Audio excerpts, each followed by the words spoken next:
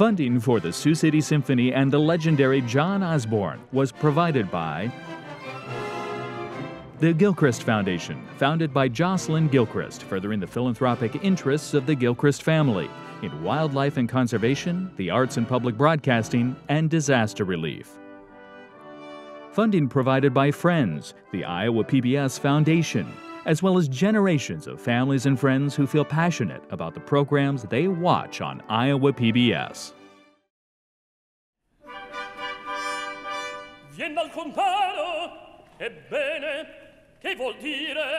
We have such a rich, vibrant art scene here in Sioux City and in Northwest Iowa. And the Sioux City Symphony is sort of the central hub of that art scene. We are going into our 108th season. Uh, we're one of the longest continuously running symphony orchestras in the country. We are so very proud to be presenting John Osborn, who, of course, was born and raised right here in Sioux City, Iowa, has gone on to become one of the most outstanding tenors in the entire opera world, and his very beautiful, talented wife, Lynette Tapia. The planning of this program was really centered around what could we present best to this audience. I grew up in Sioux City, so kind of a tour, so to speak, of how my career has gone since starting in Iowa and then traveling all over the world and doing, you know, operas. And it's, uh, it's fun, it's exciting, always an adventure. John is uh, just an incredible human being and an absolute genuine individual when it comes to his artistry.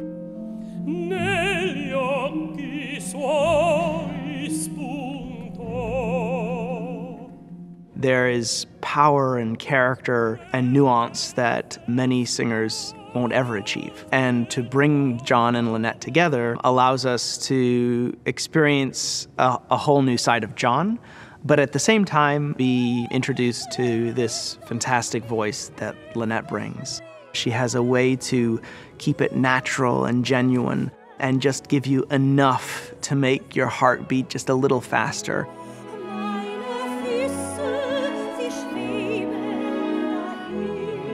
I was so, so blessed to meet John, and we really did have an instant connection, and we really have grown together we really wanted to put together something that put across his journey in this opera life that we share together, as well as a journey for the audience to understand what opera is in Italian, in French, in German, and how it can tie into our life. So just because it's in a foreign language doesn't mean it's a foreign emotion.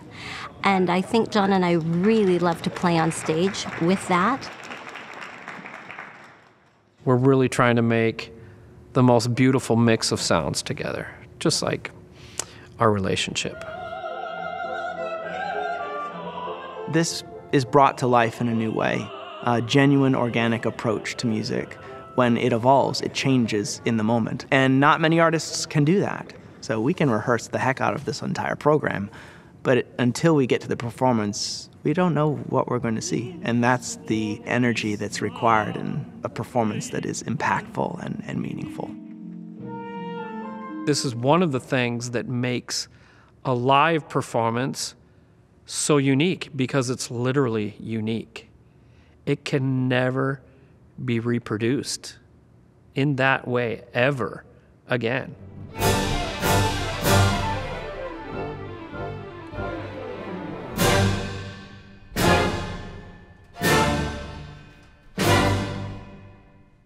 It requires so much concentration from the orchestra to be flexible enough to bend and twist and turn uh, to fit perfectly into what John and Lynette are doing. The beauty of this concert is that it tells a story. It brings to life important concepts, important ideas that, yeah, maybe they were written 100 years ago, but the greatest thing about music is that it still lives and breathes today. There's a reason why it's part of our, our culture, our heritage. It saves us. It allows us to survive, it allows us to heal, it allows us to celebrate, Uh, it is the most beautiful thing that is in existence that allows us to be true, good human beings. Uh, and that's what we celebrate in this concert tonight.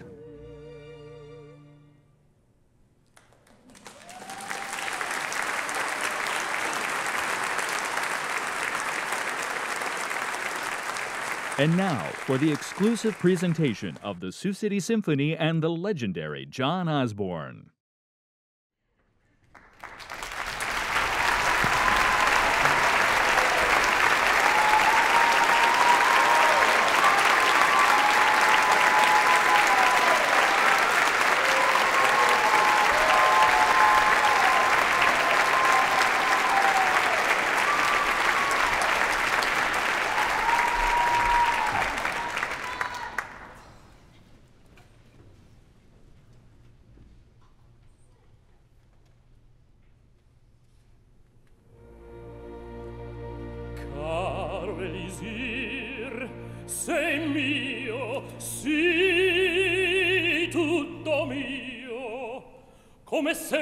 sente la tua virtù se non bevuto ancora di tanta gioia già mi colmi il petto.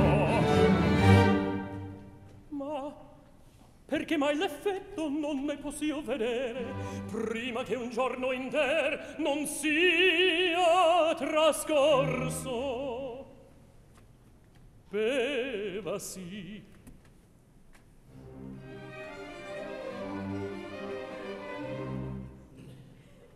Oh buono! Oh caro! Un altro sorso! Oh qual di vena in vena dolce calor mi scorre!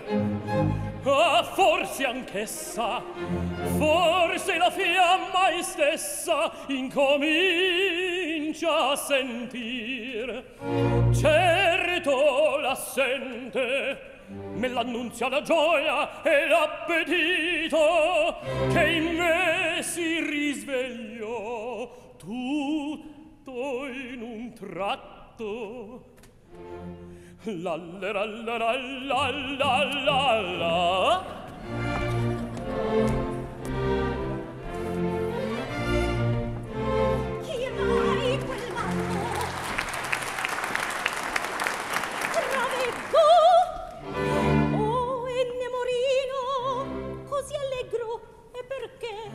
la la la.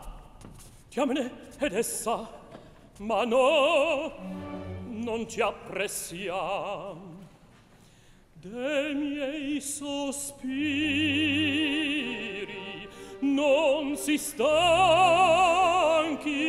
per or. Tante domani arruolarmi dovrà quel cor spietato. Non mi guarda neppur come cambiato.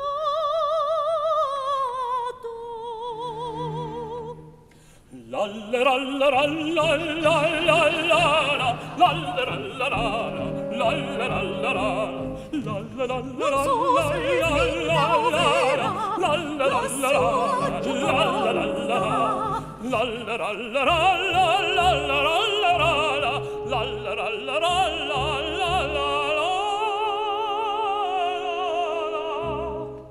Fino l'amor non sente la la la la la la la la la la la la la la la la la la la la la la la la la la la Vuol far l'indifferente Fino amor non sente Vuol far l'indifferente Fino amor non sente Esulti pur la Barbara Per pur fianco alle mie pene domani avranno termine. Domani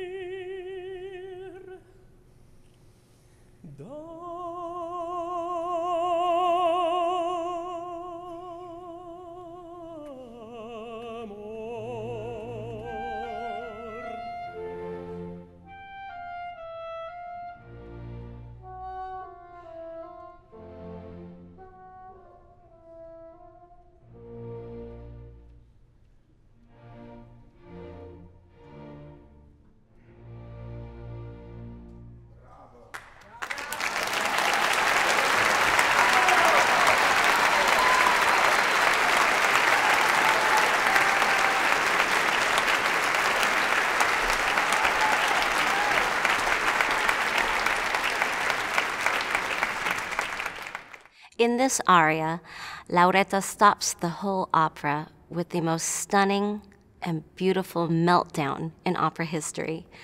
She is begging her father to give his consent so she can marry Rinuccio.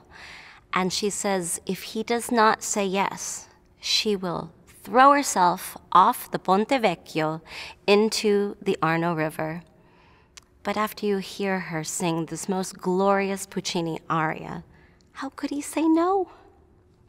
Gianni Schicchi is an opera that I first performed in English when I was still a student at Simpson College. I think I was 19 years old. That is crazy to be singing Puccini at 19 years old. But it was amazing, and I had the opportunity to sing it only one other time in Italian, the original Italian language, at the New York City Opera. And it was so exciting. Rinuccio is a character that's just part of this Buoso Donati family, and the story's really pretty funny because they're all just, you know, fighting over the will, and everybody in the family wants their big piece. And this aria, Rinuccio is basically convincing the entire family that, that Gianni Schicchi, you're all wrong about him. He's not a serpent. He's not slimy. He is the one because he knows everything and he's our man. And all these people who helped create Florence, it's all people like him. Gianni Schicchi's just as great as them.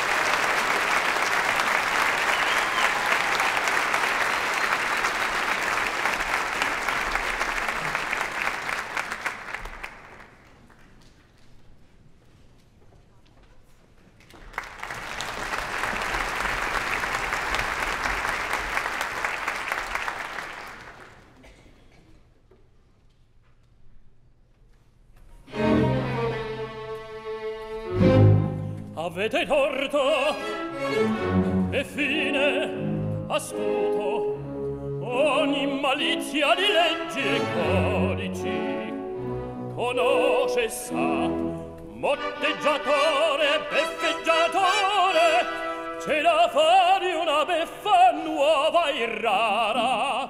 E Gianni Schicchi che la prepara. Gli occhi fuori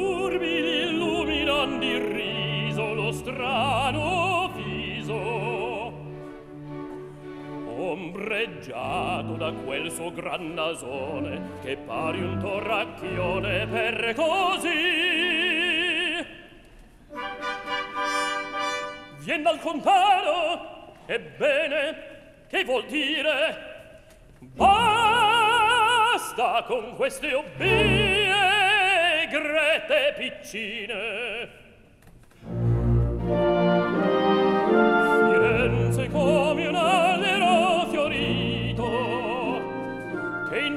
forza dei signori a tronco e fronde. Ma le radici forze nuove apportano. Valle con valli limpide e feconde.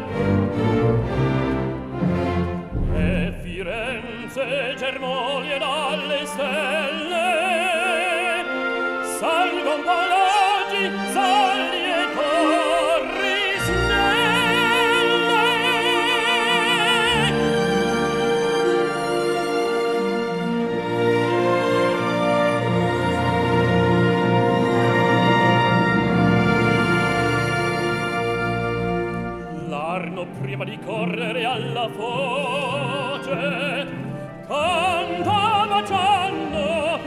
nostra santa croce e il suo canto è sì dolce e sì sonoro che a lui son scesi i ruscelletti in coro. Così scendan bidotti in arti e scienze a far più ricca e splendida di Valdense giù dalle castella. Ben venga Arnolfo a far la torre bella. E venga giotto dal musel servoso il medici mercante coraggioso. Basta con gli oli gretti e coi ripicchi. Viva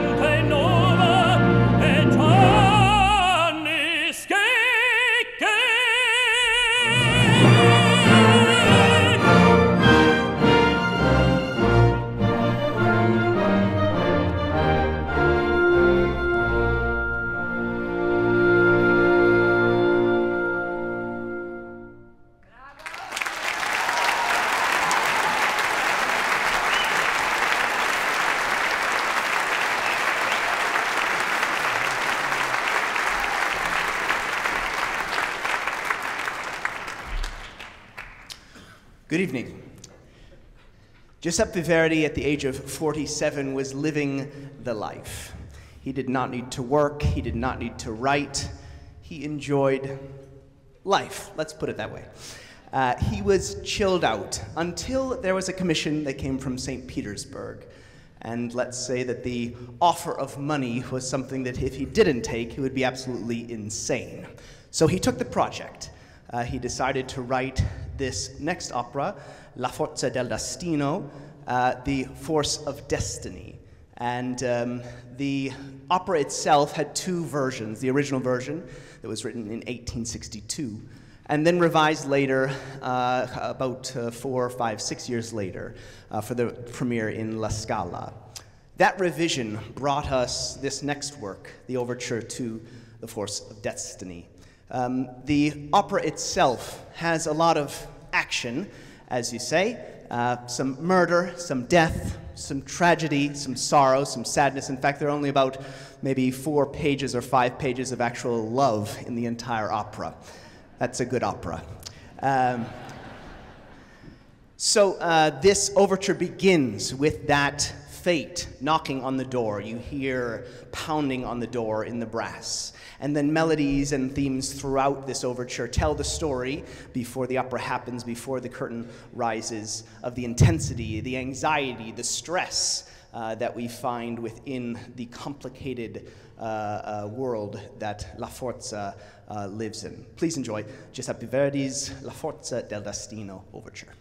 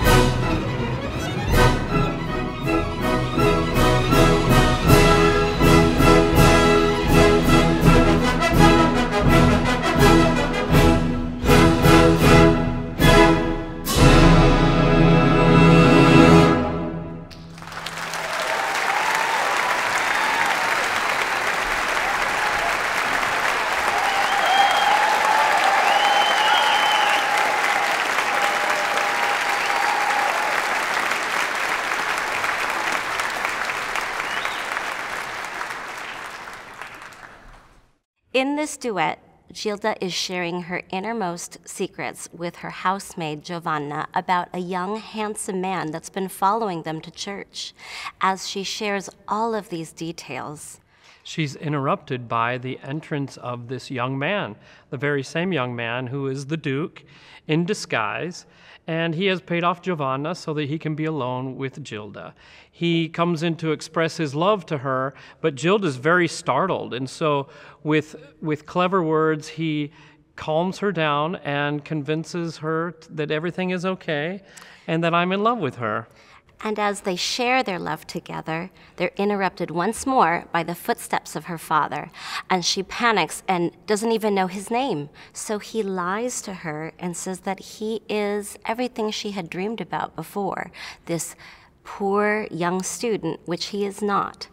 And she asks him his name, she asks him if he's going to come back, and he reassures her that yes, he's coming back. And then they have to quickly say goodbye, and so they have a fond farewell. And in opera, a fond farewell can last for a few minutes, so it's a very short farewell in this one, isn't it, honey?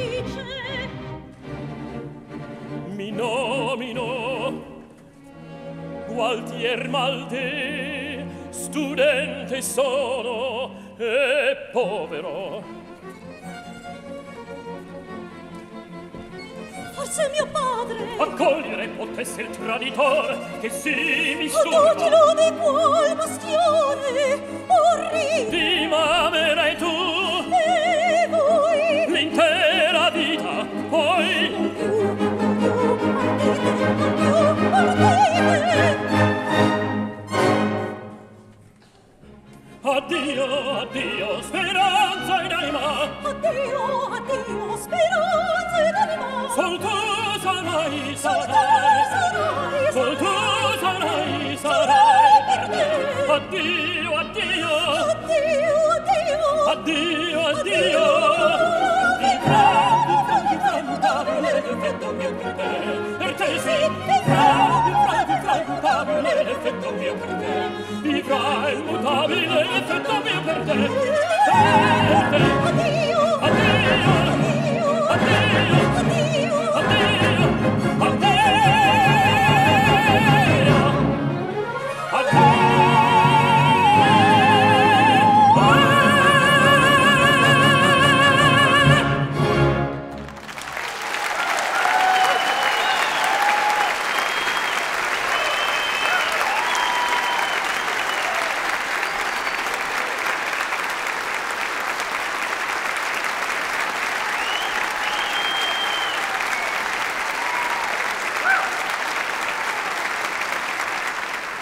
The Sioux City Symphony and the legendary John Osborn will continue following this special feature.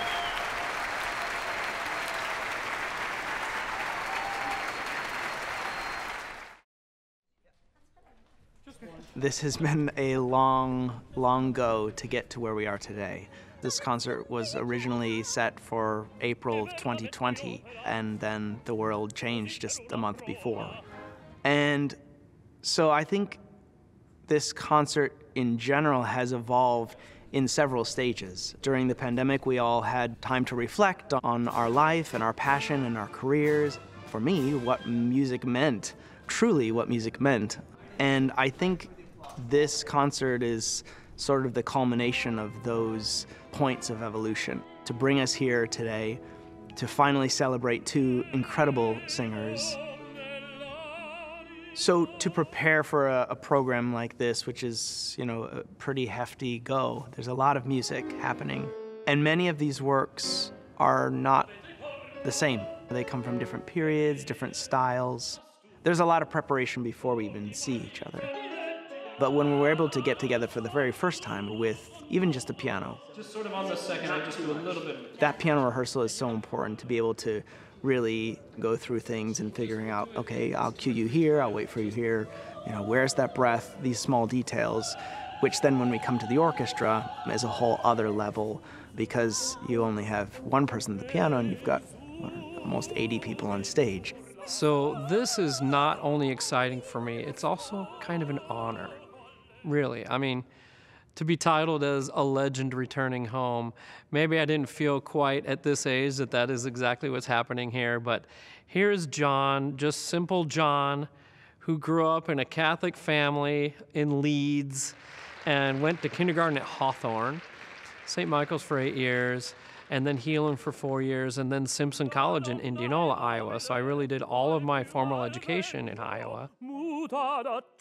We gave this all school assembly, and being back to Heelan was not the same school, but it still sort of was. And that was amazing. Being a student here at Heelan, I mean, I was like, I'm going to go study opera. And everybody's like, wow, that's so cool. They didn't really know what it was, neither did I. But they thought, the kids oh. went nuts. They were super sweet, super responsive, and just you can tell that that wonderful tradition, wholesome education, is continuing at Heelan. Being a singer or an international opera singer, Wow, it takes a lot of commitment, a lot of passion. You know, there are a lot of sacrifices. You're apart from loved ones quite often. My career started from high school, I can say, and I was a gymnast. I was a junior Olympian, so it really was nothing like singing. But the more I did it, the more I said, this is vocal gymnastics.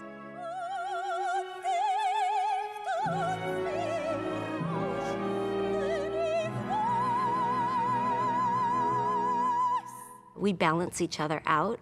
Uh, I'm more of a straight laced, got to do this, got to do that. He's a little more of a free spirit. John is John. And a lot of people, when they're in this industry, can change. And I love that about him. I think that's the most special thing about him, that he is still himself. And when people see him, he's very approachable. And that's what you should be as an artist very approachable because life is art. Ich weiß es selber nicht, warum man gleich von Liebe spricht. When I met Lynette in the summer of 95 at the Glimmerglass Opera, she not only was like a beacon of light, I had never met anyone that was so positive, that had this incredible energy and charisma in my life. I learned from Lynette that not only was God the biggest thing missing in my life, but then I needed to put Him first. And so Lynette changed my heart. She changed my life forever, for the better, of course. And uh, performing with her is so special because we truly do love each other in every way.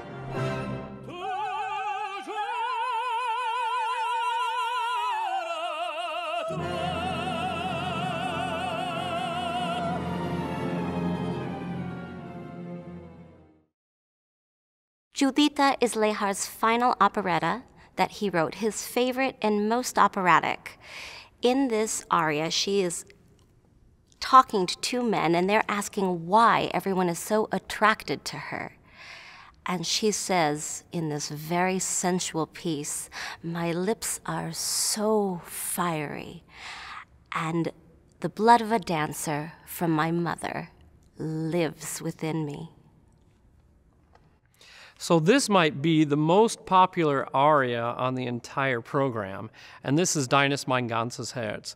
The story is The Land of Smiles, and Dein ist mein ganzes Herz is Yours is my heart alone, where you are not, I cannot be. Basically, Sou-Chong is declaring his love to Lisa to convince her after he has been forced to marry four other women that she's the only one for him. At the time, Franz Lehar was bandmaster of the 26th Regiment in Vienna when the commission came from socialite, fashion trend leader, and arts patron Princess Metternich. She asked for something extraordinary, special to mark her grand gold and silver carnival ball in 1902. She wanted music to represent the opulence and luxury of the event. This commission would have been a part of the long standing Viennese tradition of what's called a name waltz, which would have been premiered at the start of these high society events. Although the gold and silver waltz would eventually find international fame, the premiere was less impactful. The guests were excited to be there. It was an extravagant event. The ceiling was painted in silver with gold stars. The guests were dressed to the nines, and even the lighting reflected the character with gold palms and silver trunks. The music started. The guests jumped to their feet, started dancing, chatting, drinking, and eating, and completely forgot about the music that was being played. Although the start was rocky, the gold and silver still today remains one of the greatest masterpieces written during the twilight years of the Viennese waltz.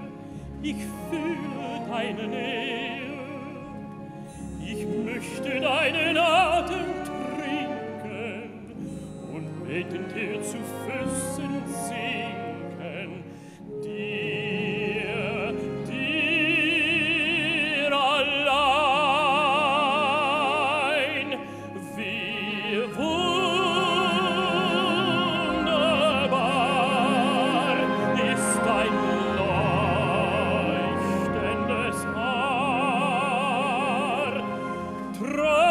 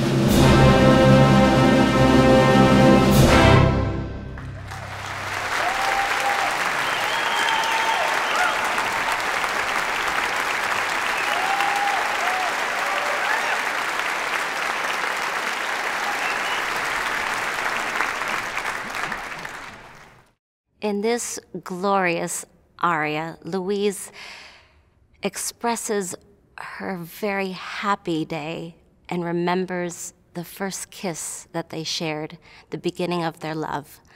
And I think so very much of my first kiss with John and how wonderful my life is because of that. In this aria, the young Werther feels that the best way to express himself is through a poem by Goethe, just how much he missed Charlotte and the pain and suffering that he felt during the time they were apart.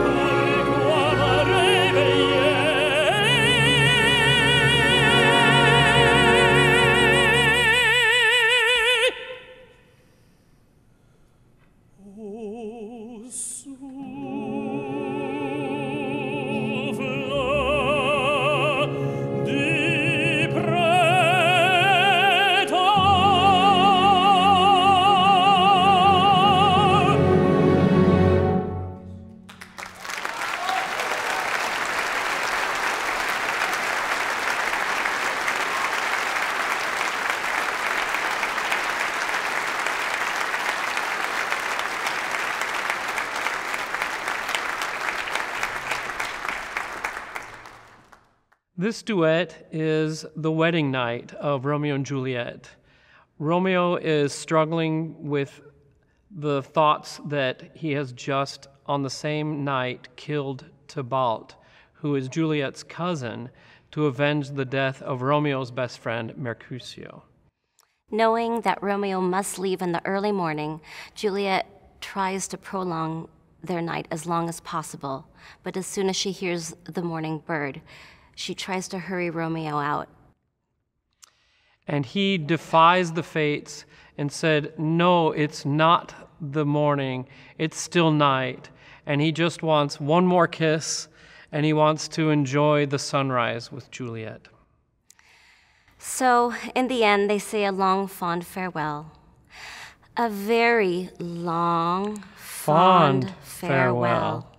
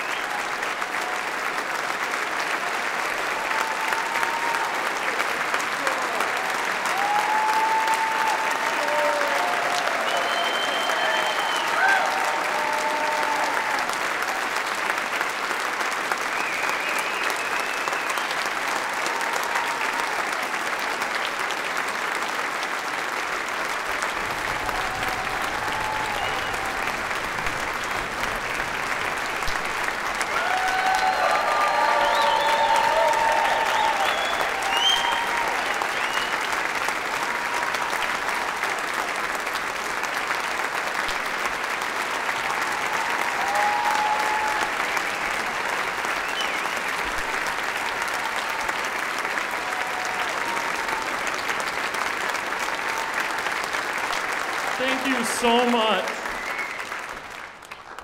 Wow, everybody here. Um, I can't tell you how emotional it has been this week, going down, up and down memory lane, uh, running into college and high school classmates of mine, grade school, uh, family and friends from coming from all over the place. Um, wow, I got my start here in Sioux City, Iowa.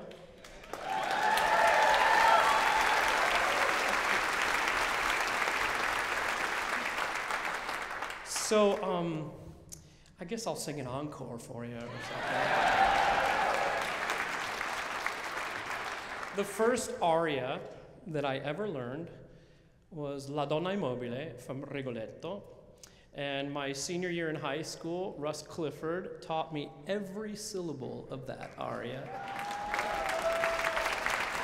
I didn't speak a lick of Italian.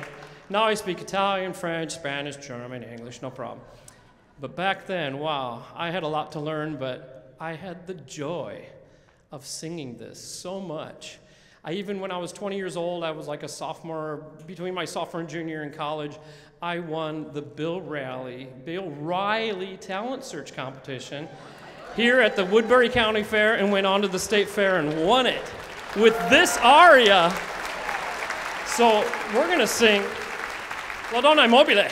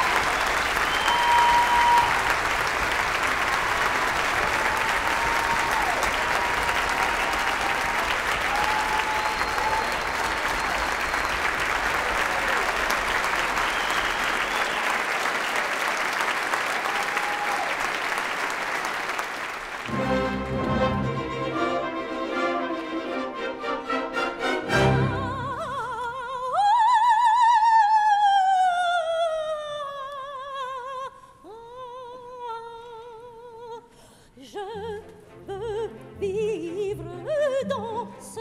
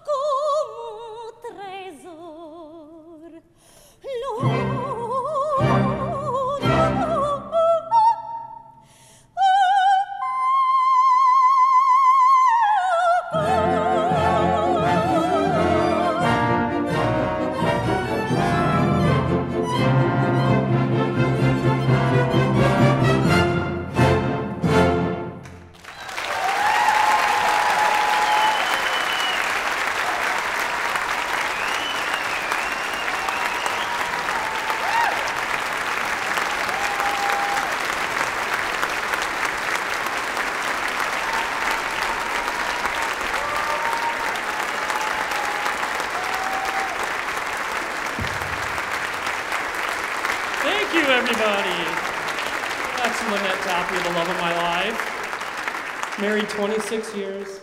We have a 20, 20, 22 year old daughter who is an animator. Um, thank you, everybody, for being here. I thank my entire family for everything they've done to support us. We thank the Sioux City Symphony Orchestra, the entire organization, the major donors of this event. Thank you so much for keeping arts alive here in Sioux City. And we would like to give you one more long, fond farewell.